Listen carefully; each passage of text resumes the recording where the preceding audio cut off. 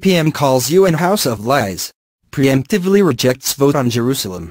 Calling the United Nations a house of lies. Prime Minister Benjamin Netanyahu preempted by some five hours a vote scheduled to take place there Thursday on the status of Jerusalem and said that Israel completely rejects the vote even before it takes place.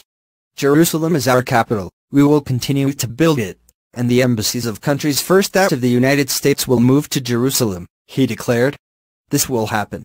Netanyahu's words came at the dedication ceremony for the new Assuta Medical Center in Ashdod.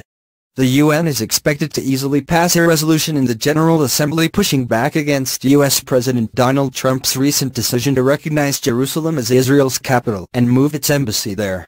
A similar resolution in the Security Council was vetoed on Monday by the U.S. The vote will have no binding impact, but is being watched carefully because of Trump's threat to take retaliatory measures by cutting aid against countries who vote against it. I want to thank President Trump and Ambassador Nikki Haley for their courageous and uncompromising stand with Israel and the truth, Netanyahu said.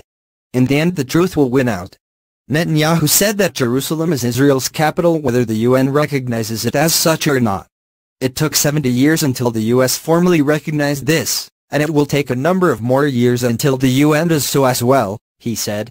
Netanyahu said that Israel's bilateral ties with countries on all continents is changing outside of the UN's walls, and in the end this will trickle down inside the walls of the UN building the House of Lies.